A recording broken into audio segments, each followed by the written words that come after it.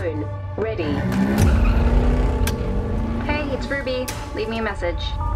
Ruby, I, uh. I just really want to hear your voice. Bring her back, okay? Bring my daughter back. Will you do that, please? I don't have her!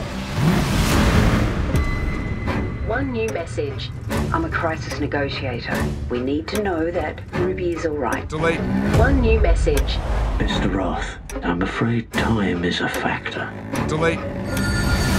The police are en route. We need to know you haven't harmed your daughter. I just want to talk to her. And. I'm afraid we're running out of time.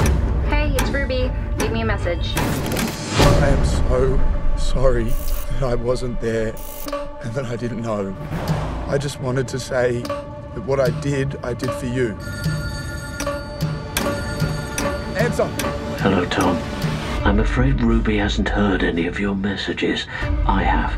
I've listened to them very carefully, in fact. Where is she? What have you done with my daughter?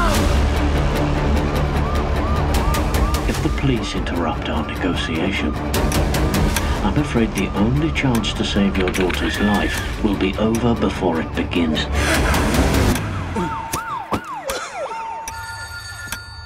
Tell me what you want. You're not in your vehicle, Tom. Don't ever stop driving.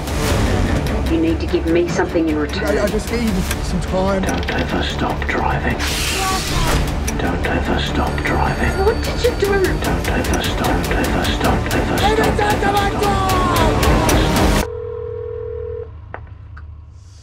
He did. Ruby? Ruby! Ah!